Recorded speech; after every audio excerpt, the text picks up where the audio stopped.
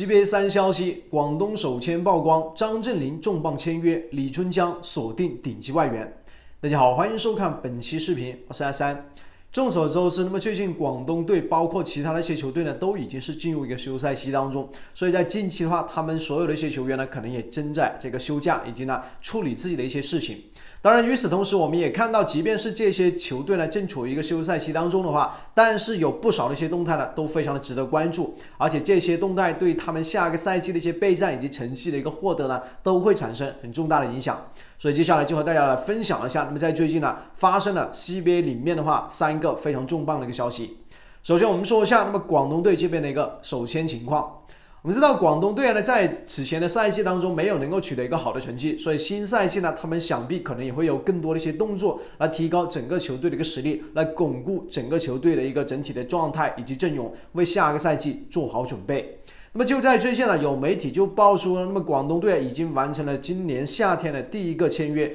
这个签约呢不是来自于球员，而是来自于主帅杜峰的。根据媒体的报道，那么这一次呢，广东队啊已经和杜峰呢再一次续约三年，而且年薪呢是四百万的。所以从目前来看呢，其实能够看得出来呢，一方面的话，广东队对于杜峰是非常认可的，也希望能够继续携手去创下更多的奇迹。那么另外一方面也看得出来呢，杜峰对于广东的感情也非常的深厚，他也希望能够继续留在这个自己呢一直发展的一个球队呢，能够取得更多的一些好成绩。所以这个消息，我相信对于很多广东的球迷来说呢，应该都是一个很好的消息。能够看到杜峰指导继续携手广东队往前走的话，那接下来呢，想必还会有更多的一个惊喜。而除了广东队这边的消息之外的话，第二个非常重磅的消息呢，就是张镇麟的签约问题了。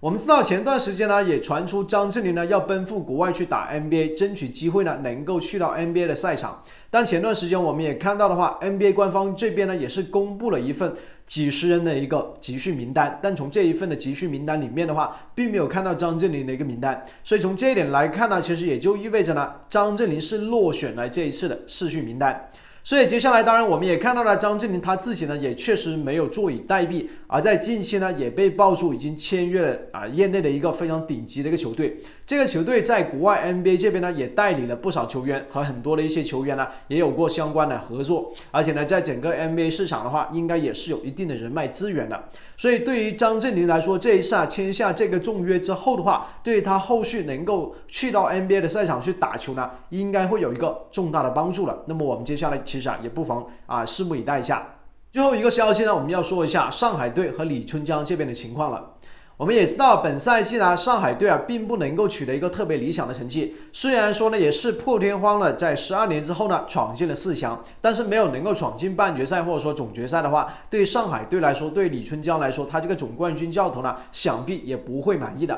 所以就在最近，那么我们也看到，随着这个克里克这个超级外援传出要啊来到 CBA 打球之后的话，也有媒体爆出了，那么李春江这边呢已经瞄准了这个顶级外援，接下来呢也想呢和他携手合作，去创下更好的成绩。毕竟从目前来看呢，周琦这个队长克里克呢，整体的表现在锋线方面是非常优秀的，在整个 NBA 六当中呢是第一啊球员，而且来到我们这之后的话，称他为是第一外援呢，恐怕也不过分。所以上海队啊，他们本身就财大气粗，如果能够争取到这个锋线球员，对于他们下一个赛季的整体的实力提升呢，想必会有一个重大的帮助。所以接下来我们也不妨呢，拭目以待一下。那么以上呢，以上就是三个整个啊 CBA 球队的一些啊最新的消息。那么后续如果有有一些什么样的新的动态的话，我们呢也会继续和大家分享。好了，本期视频就聊到这里，我们下期继续开心聊球，拜拜。